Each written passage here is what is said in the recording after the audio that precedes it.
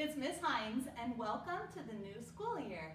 This is going to be your first remote video for the school year of 2021. We are going to um, begin with remote teaching this year, as you know.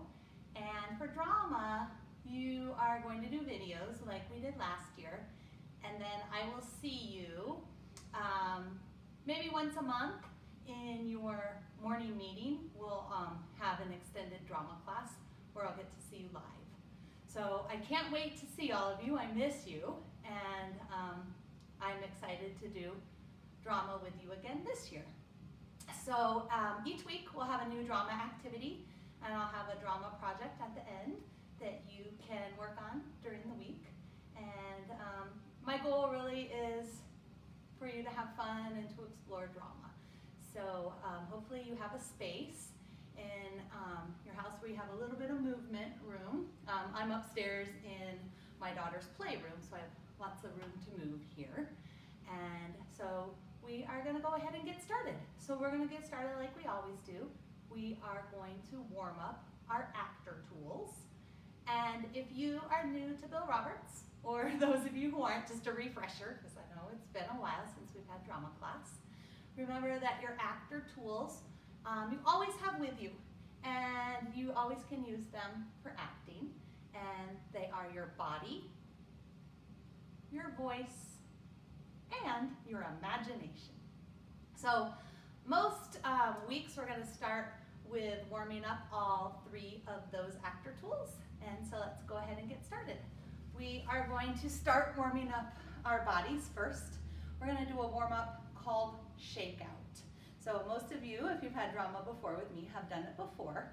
So you're going to shake your arm, then your other arm, then your leg, then your other leg. Now, everybody stand up. I know it's easy to just kind of watch the video and just sort of watch me do it, but believe me, you're going to feel a lot more energized if you stand up and do this. Uh, you've probably been sitting for a while now, so everybody up, find a space, and we're first going to shake each of those body parts that I showed you eight times. Ready? Go. One, two, three, four, five, six, seven, eight. One, two, three, four, five, six, seven, eight. One, two, three, four, five, six, seven, eight. One, two, three, four, five, six, seven, eight. Now six. One, two, three, four, five, six. One, two, three, four, five, six. One, two, three, four, five, six. One, two, three, four, five, six. Now four. One, two, three, four. One, two, three, four. One, two, three, four. One, two, three, four. Now two. one, two, one, two, one, two, one, two. And now we're gonna do one. When we do one, we do both arms, both legs at the same time. When I say go, ready? Go. One, go. One, go. One. All right, great. Did you notice besides one that um, the numbers that I did, eight, six, four, two, are all even numbers? Just a little math in drama class. so um, I don't know about you, but that definitely made me feel warmed up. And so now we're gonna warm up our voices. So we are um, going to use the story of the Three Little Pigs today. Now I know that that's a story that you probably heard when you were a lot younger, but it's a fun story to do with characters. So I know that you are um, above the Three Little Pigs, probably reading ability and, and um, interest, but it, it's just a good one in drama. It's an easy story, almost everybody knows it, um, especially when we're home um, remote learning to use to kind of get some good character work out of it. So just know that up front. But to warm up our voices, we're going to do a line from the Three Little Pigs, and then we're going to try out some characters. So repeat after me until I say stop. Good. Not by the hair on my chinny chin chin. Not by the hell on my tinny tin tin. Not by the hair on my tinny tin tin. Not by the hair on my chinny chin chin. Not by the hair on my chinny chin chin. Not by the hair on my chinny chin chin. Not by the hair on my chinny chin chin.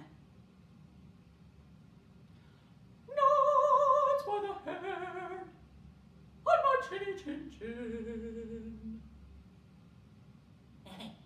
uh, not by the hair on my chinny chin chin. Achoo, not by the hair. Achoo, on my chinny chin chin. And stop. Hopefully that last one was covering their mouth. All those sneezing and coughing. We're like really hyper aware of that right now, of all that coughing and sneezing. So I guess that's why it came to my mind. So uh, those are just a few little characters. You know I love to play with character voices. Um, why don't you try one on your own, whatever character you think just going to say it normal and then you repeat it with your character. So take a second to think of a character you could do. It could be one I just did. It could be one you know how to do. You could just try one out right now, see if you could try a different kind of a voice, a silly voice, or any kind of accent maybe. So just think for a few seconds.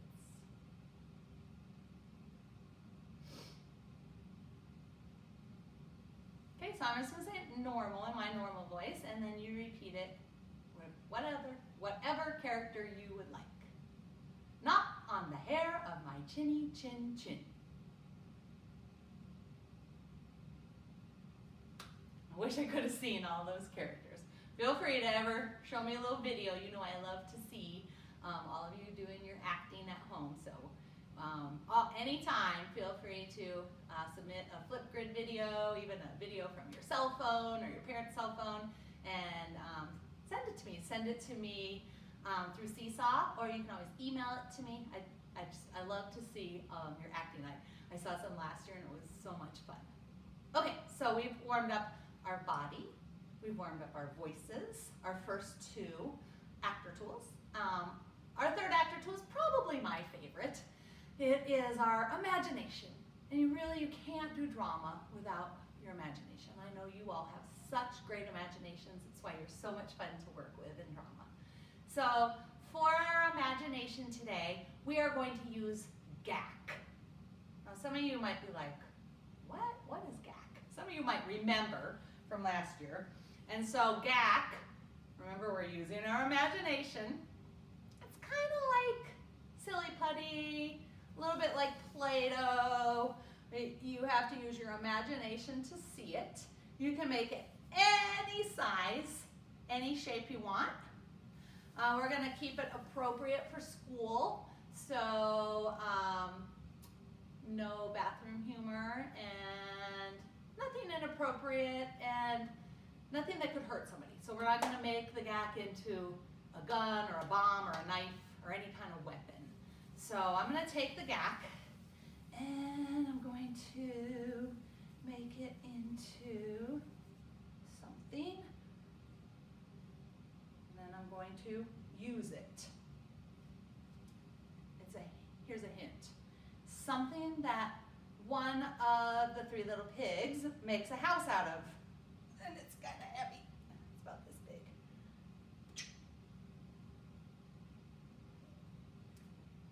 Can you guess? It was a brick. Okay, so we're gonna take the GAC. Remember, we pretend it's like a brick. I'm gonna pretend to squish it back up, about the size of a bouncy ball. And I want you to just play with your GAC while I do and make it into something. Maybe it's something else from the story of the three little pigs. Doesn't have to be, it could be. Just kind of get your mind wrapped around that story. Okay, and then make it into something. I wish I could guess what it was. I wish I could see you. Um, maybe we can do this a little bit when we do a live class sometime, so um, I can see you doing your GAC. Feel free to play with a sibling, a parent, um, anybody, and you can go back and forth. This is a good game to play when you're kind of bored. Um, just really stretches your imagination. And um, all right, so remember you can use that GAC.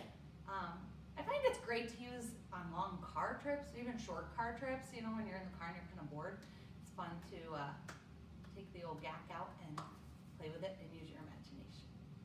Okay, so we've warmed up our body, our voices, and our imagination, and we are ready for drama today. Yay! so just to refresh you, I'm not going to read you the story of the three little pigs. Um, just to refresh you, I'm just going to read you a quick little summary because it might be a while since you've read the story. Like I said, you probably um, heard it when you were younger. So here is a summary of the three little pigs. I'm just going to read it. Three little pigs leave home to seek their fortune. The first pig builds a house out of straw. The second pig builds his house out of sticks.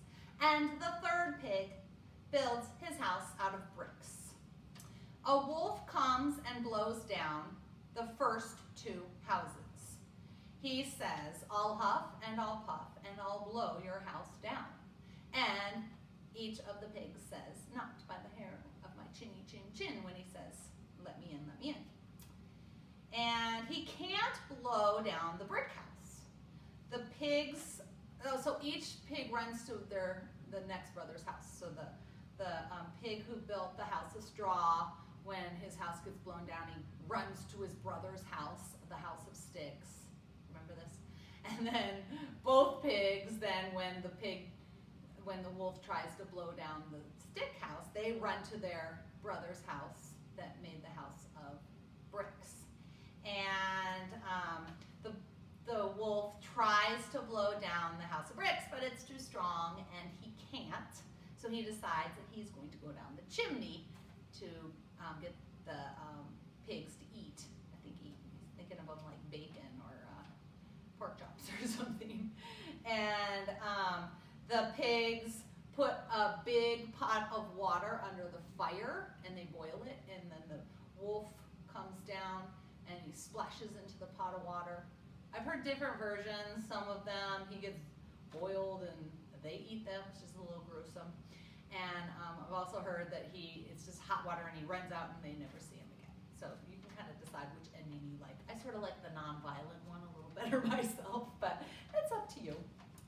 Okay, so um, for our first drama activity, you're just going to find some space, and we're going to do what are called frozen pictures. They're also sometimes called tableau. You can think of it as like a cell phone picture. Now normally we would do these with lots of kids and it's really fun because we have lots of different pictures. But um, since you're home um, doing this by yourself, most likely, uh, we'll just have one um, character. If, if there's someone else doing it with you, by all means, let them be a different character and create um, some pictures. You want to um, take some actual pictures of you um, doing these frozen tableaus, I would love that. Please send them to me. Um, remember to use your face, have lots of expression. We're not going to use our voice at all. We're just going to use our bodies for this. So think of levels, high. You might stand up really high or stand on something. Don't fall down. Um, a medium level is just kind of standing or um, crunching down a little bit. Or a low level means really low to the floor. So it's interesting to have like different levels for the different pictures. Okay, so the first one, I want you to pretend that you are the parent pig. Maybe you're the mom pig or the dad pig and um, your three sons are um, leaving. You um, are saying goodbye to them.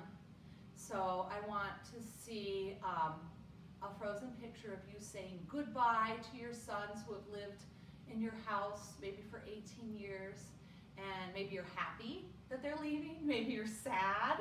So really show on your face. Maybe you're doing a wave. Maybe you're blowing a kiss. Maybe you're excited for them to leave. It's up to you. All right, and your picture of parent pig in three, two, one. Picture. Freeze. Okay, stay frozen. Gonna pretend that I can see you all. Oh, it's so expressive. I love the way that you use your faces and your bodies to really tell the story. Okay, great, relax. We're gonna go into the second picture. Um, I want you to pretend this time that you are the wolf.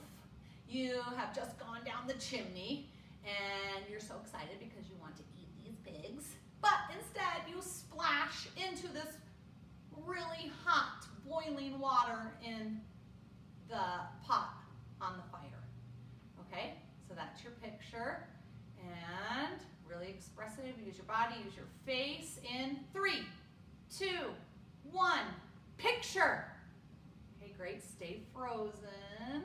Really focus, concentrate.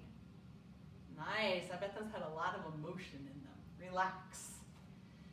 Okay, and the next one, I want you to pretend that you are the wolf again, and you are blowing down the house of straw. Probably the easiest house to blow down, right? Okay, you're the wolf blowing down the house of straw in three, two, one. Picture. Stay frozen. Good, relax.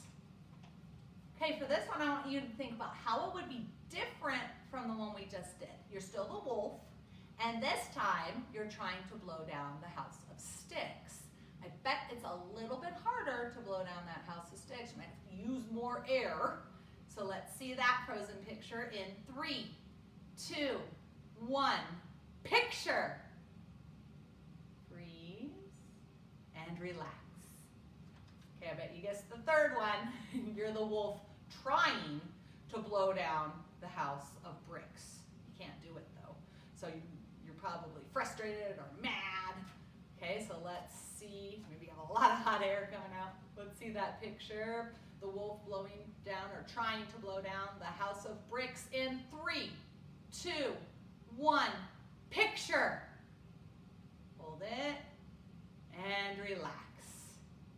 Okay, now we're gonna pretend that we're the pigs that live in each one of those houses. Okay, so the first one, you are the pig that built the house of straw. You're just chilling in your house and all of a sudden your house, this terrible windstorm comes, the house blows down because the wolf blew it down. So let's see how you would react to that in three, two, one. Picture. Freeze and relax. All right, and now you're the pig who built the house of sticks and your house blows down. It's so sad. All right, let's see what that looks like. Three, two, one, picture. Hold it for a sec and relax. All right, now you're the third pig, possibly the smartest of the bunch. And you built your house out of bricks. You hear the wolf out there huffing and puffing, but you can't blow your house down. Let's see how that makes you feel. Three, two, one, picture. Good, and relax. All right, good. Um, you can go ahead and get comfortable for a minute because I'm going to talk to you for a while about your weekly assignment this week. So you are going to do a puppet monologue. So you are going to make either a pig puppet like I did or a wolf puppet. And you are going to pretend that you are this character and you're going to make up a monologue. A monologue is just like talking out loud, thoughts coming out loud that we use in theater um, about what the pig or the wolf might be thinking. So um, you're going to kind of take their point of view. So my pig is actually going to be the um, mother pig. So you could be the mother or the father pig. You could be um, one of the three pigs packing all of your things before you're leaving, uh, talking about what you need to bring for your new life. Maybe you're upset with your mother for making you move out. Um, you could be the wolf. You could tell us why you want to eat those pigs. Um, maybe you're Mrs. Wolf, the wolf's mother or father, and you're disappointed in your son for being such a bully, having all this bully behavior and really picking on these pigs. So you're gonna pick um, whatever character that you want from um, the story, of The Three Little Pigs. You're going to make a puppet, and I'm going to show you how to do that in just a minute. But um, I wanted to um, show you an example first um, of, of what you're going to do. So,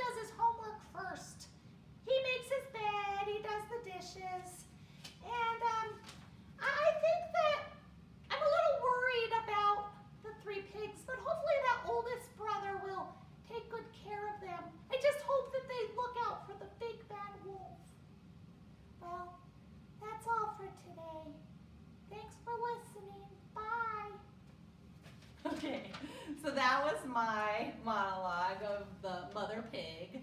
So I just try to take her point of view, something we don't usually look at. Um, if you've ever read the story, the true story of the three little pigs, they kind of do this with, with the wolf, and you get to kind of see his point of view. So uh, what I want you to do is to make a, a pig puppet, and I'm going to show you, I'm also going to include a video um, when I'm done teaching um, somebody else explaining it. She might just explain it a little bit better. And then I'm also going to put on um, a read aloud of the Three Little Pigs, just to kind of refresh your memory of the story, maybe even a little better. And then um, the rest of the time you can just spend um, making your pig puppet and performing your monologue. Remember, I'd love to see videos of these, so please, please, please send them to me. I would love to see them. I'm um, really excited to see what you come up with. So basically, to make the pig puppet, it's one of those fortune tellers. I think a lot of you have probably made these before. And you just need a piece of paper. Um, I'm made, making a pig, so I'm using pink. If you don't have construction paper, just any paper will be fine. But it does need to be in a square. So most paper is in a rectangle. So the, the way to make it a square is that you just fold it over like this. And then you should have about that much room to cut off. So I'm gonna cut that part off. And then I have a square. So then what you do is you take the two sides and you fold it like this.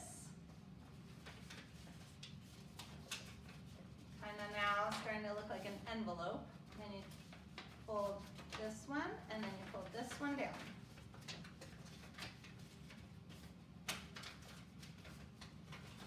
Okay, so you should have the four flaps like.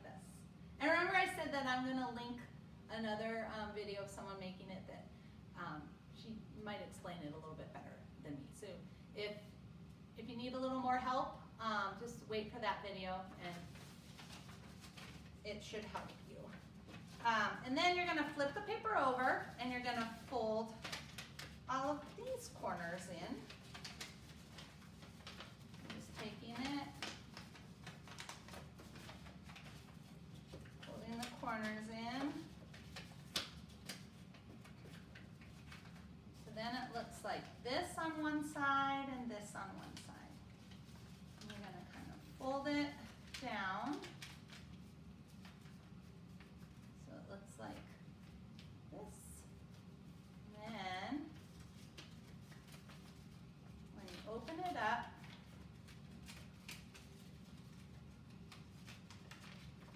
be careful you don't rip it. Just kind of maneuver it like this so it works like this. Okay, and you might, like mine's a little misshapen right now, so you might just have to kind of refold it a little bit. Okay, then you are going to cut out eyes. Maybe you have googly eyes, maybe you have a lot of craft supplies, that would be cool. I didn't have any googly eyes, so I'm just cutting paper. I like to cut like a square first, two squares, and then I just cut around to cut two circles. And then I just gonna add dots for eyes. Um, like this. On my other one, I kind of added some eyelashes because I was making the mom. So feel free to get more elaborate if you want. Um, you could give her makeup. You could put on false eyelashes. you could get really elaborate and have fun.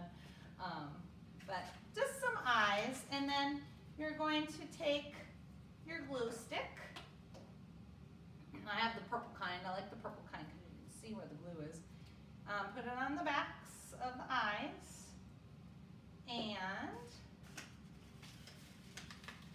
just decide which side you want to be the top. This part on mine's a little bit ripped, so I'm gonna make that the bottom.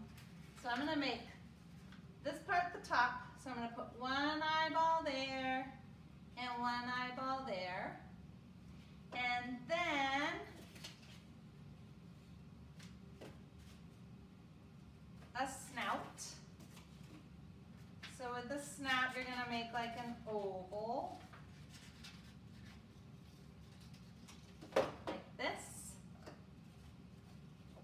With two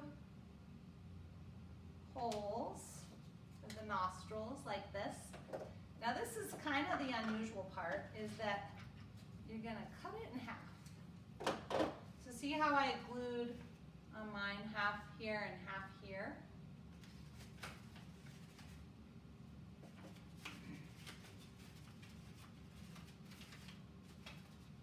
So it's like right under the eyeballs that you're gonna glue that.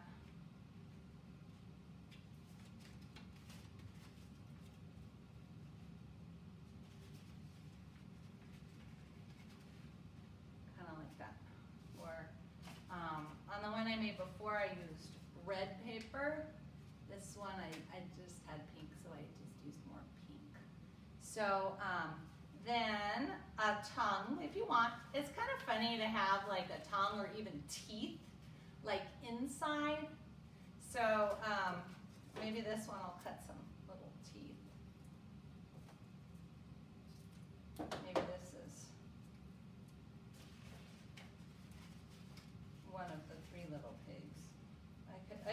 put the teeth and like make them kind of sticking out so it's kind of like buck teeth.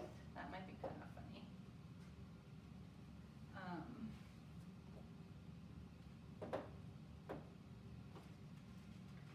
so I don't know.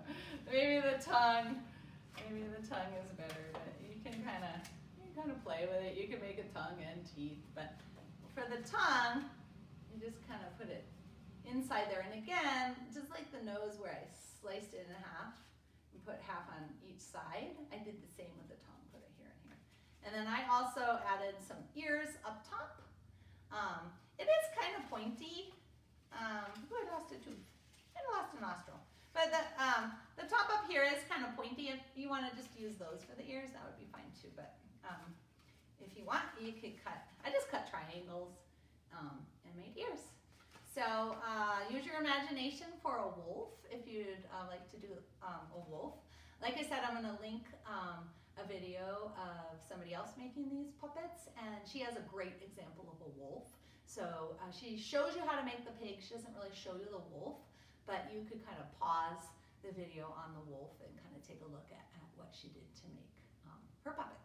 So you, um, if you don't have construction paper, maybe you just use regular paper and use colored pencils or markers or crayons. And um, I think this should be a fun project for you to do. And um, I can't wait to see some of your videos of your puppet monologues from Three Little Pigs. So I hope you have fun. I hope you have a great week.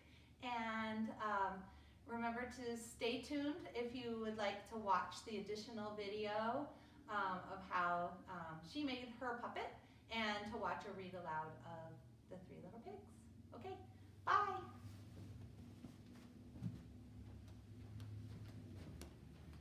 Theatre and I'm going to show you how to make these pig and wolf puppets. This design uses the same method as folding a fortune teller, so you can use this video to help you make those as well. You can use these puppets to tell the story of the three little pigs, but more on that later. So, let's get on with the make. You don't need much for this make. Paper is the main thing that you need. Coloured if you've got it, but if you haven't, white is fine if that's all you've got. You also need some scissors, some glue, and some coloured pens and pencils. And that's it. I'm going to be making a pig, so I've got pink paper, you can use whatever colour paper you've got or you need for the character that you're making. Now you need your paper to be a square shape. So if you're starting off with an A4 rectangular piece like this, the first thing you need to do is fold one of the corners over into the middle and then cut along the fold so that you have got a square piece of paper.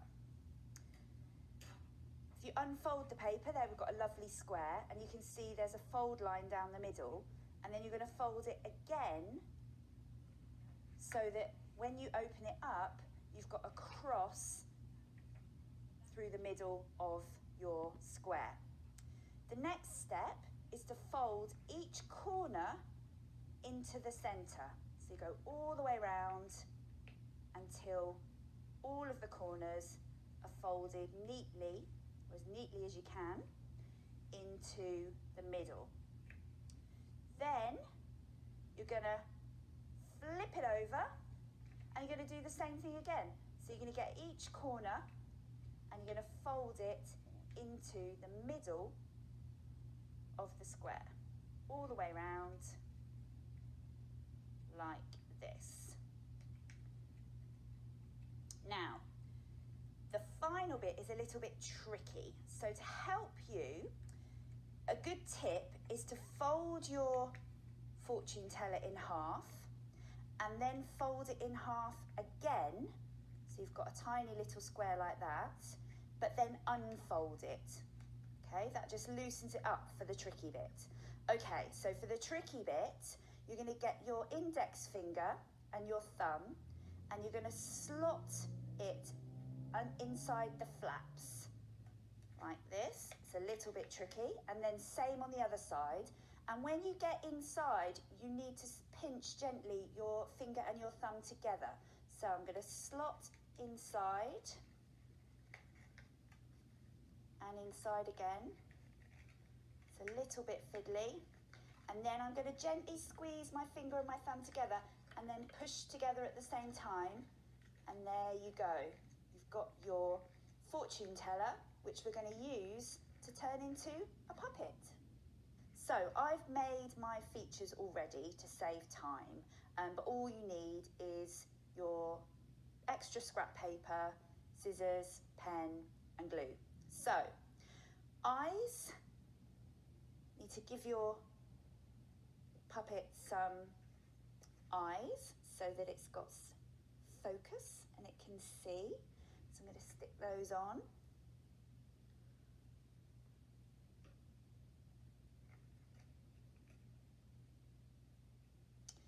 There we go, at the top there. Now because I'm making a pig, I need a little snout. So that's just an oval with two nostrils drawn on. But what you will need to do if you're making a nose is cut it in half because half needs to go on one side and the other half goes on the other side like this. So one half on this side like that and the other half on this side. So now he's got a snout, one nostril on each side. And you need to do the same with the tongue. So it's good to have a tongue. I'm going to cut it in half so that when your puppet opens its mouth, you can see its lovely red tongue inside. So we're going to open his mouth there, pop the tongue inside, and on the other side as well, like that. And then we've got two little piggy ears, so a little bit of glue on the front side and pop the ear behind there so it's peeking out and the same on the other side.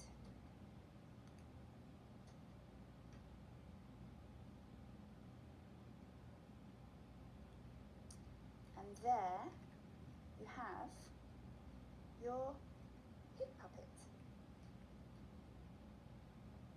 Now you've got your little piggy puppet, it's time to learn how to use it. So it's pretty straightforward. You just put your index finger and your middle finger in the top and your thumb and your ring finger in the bottom and then you can control your puppet by moving your fingers up and down and making your puppet's mouth open and close so it can talk. You can use this design to make other characters. Here's a wolf. Perfect for telling the story of the three little pigs. So you can see I didn't have any wolf coloured paper when I was making my wolf, so I just used white paper and I coloured it in. So it's fine to do that as well. Why don't you make enough puppets tell the whole story of the three little pigs and share it with your family? Little pig, little pig, let me come in. Not by the hair on my chinny chin chin. Then I'll huff and I'll puff and I'll blow your house in. Thanks for watching this video and don't forget opportunities are endless. What other characters or animals could you make with this design? See you next time!